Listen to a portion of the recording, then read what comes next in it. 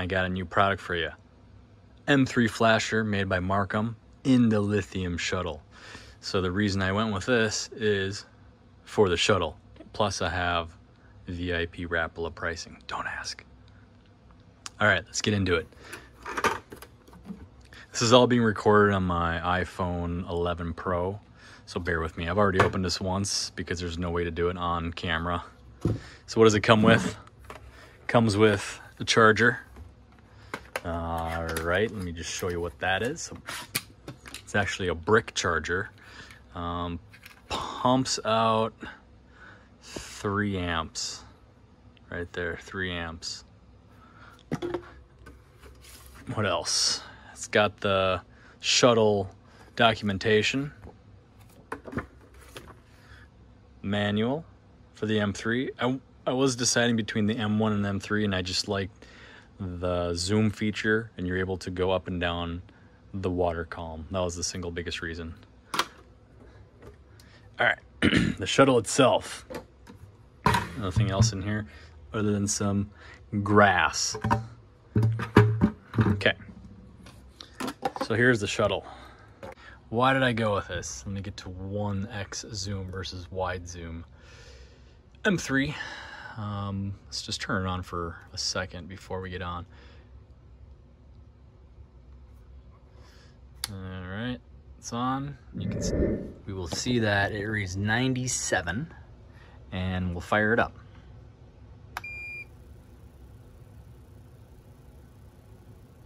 pretty simple design. One thing I like about Marcum's, trust me, I already have a Vexilar, I'll roll that in a little bit later, is I love this arm system. It's so damn ingenious. And before we get into the, I just want to show you on an LED, there's two, two, two rocking switches. So it goes from off, on to LED on, and it's bright. And as a result, that also clicks on the USB this bracket is made of, seems like brushed aluminum. Really high quality. Quarter 20, um, I believe these are just tension bolts. I don't know what they're exactly called, thumb screws. Quarter 20 right there. You have three of them, one right there, and then one off to the side. Lots of little things you can attach to it. Whoops and on the rear. So I I emailed Marcum. They're sending me a new one. There's just this weird paint crap on it. I don't know what's going on. But some of the most innovative designs, again, this was very well thought out, was the upside down transducer. A 9 out of 10 times if it's cold and you leave your transducer outside, it will freeze if it's the other way around. Plus this prevents it from rattling, which is pretty ingenious in itself. Just pop that down and up and boom, you got yourself transducer. Pretty cool. I won't knock it down. And then another cool feature about this is you loosen these up on both sides and you can actually make it go up and down based on how tall you want. So it's kind of neat very innovative. What else? The arm, once again, it allows you to fish. Um, if I can get. This is all one-handed operation, which makes it that much more challenging. Just sits down just like that. Pretty cool. You just lift and pick it up. I'm not going to go into the details of the M3 features other than I bought the M3 over the M1 because of the zoom. You can move it up and down. I think that alone is pretty well worth it. The plug-in for this goes right here. So that's kind of neat.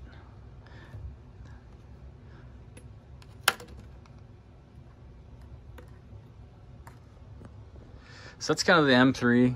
lithium shuttle in a nutcase, uh, in a in a nutshell. I'll roll in some weight comparisons compared to the FL28 um, Pro Pack versus the shuttle, and you'll see the huge difference in weight. Okay, it's on a scale, 12 pound scale, we're reading what, 598 pounds. I just want to show you the weight difference between old school and new school. And I'll show you, that's the reason why I bought this. Okay, everyone knows the FL X28. So I have a couple additions to it, nothing too material in terms of weight, but I have a little PVC cup with a little um, UV light. I have another side light here. No, it's the UV light that I have somewhere switched. I don't know where. For lighting. There we go. And that's it. And I think this is a nine, yeah, nine amp hour battery. Uh, this is a show. So it's going to be pretty heavy. This shuttle has a 12 amp hour lithium battery. And that's where the, the weight difference will show here. I'll put it backwards because I think this thing is rear heavy. 988 988. We'll say 988. Okay, let's just do a quick sound test.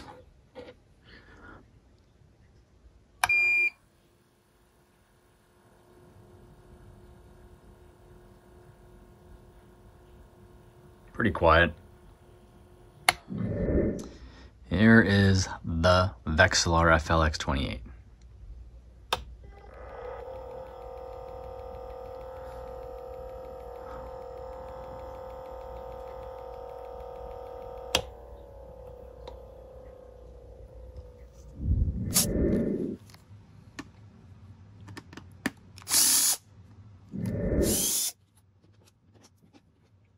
Screws, holy cow.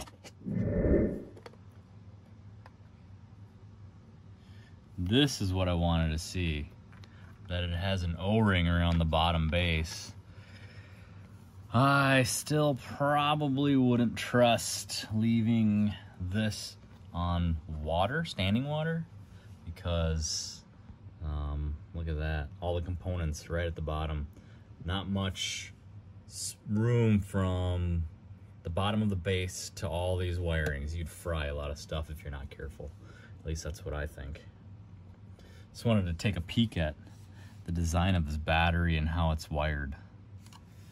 Here's the grommet.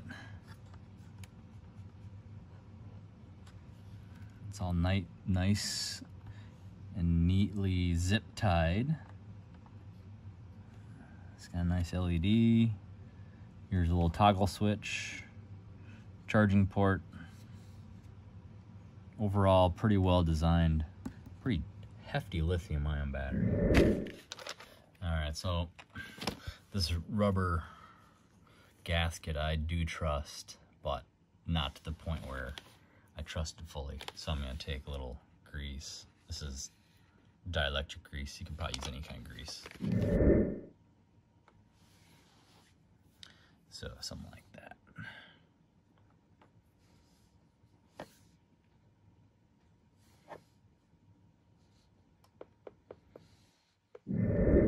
All right, there it is. Grease all around the entire gasket.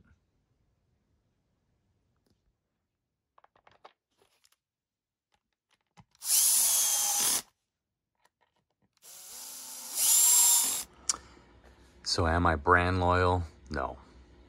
Am I innovation loyal? Yes. That's why I have the shuttle. So my plan right now is to, think, take the FL28 and swap it to the shuttle, take this M3 and put it over with the Genz Pack. Um, and I think that'll be the best blend of both worlds. And then the Humminbird, I think I'm going to sell. I haven't used it. It's not that amazing um, compared to the flagships.